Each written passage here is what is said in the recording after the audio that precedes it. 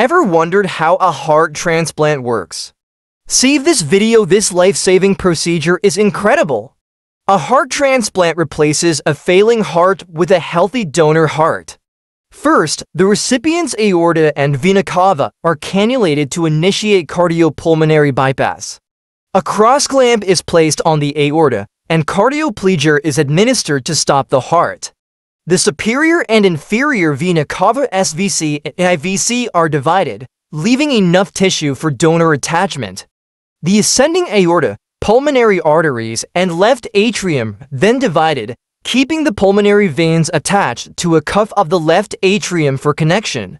The diseased heart is removed, the donor heart is examined, and the left atrium is sutured first, followed by the ascending aorta. Once the aortic clamp is removed, the heart resumes normal function. The pulmonary artery, IVC, and SVC are sutured next. The patient is gradually weaned off bypass, and an echocardiogram ensures proper blood flow, valve function, and ventricular performance. A successful transplant gives the patient a new chance at life. Save this video to learn more.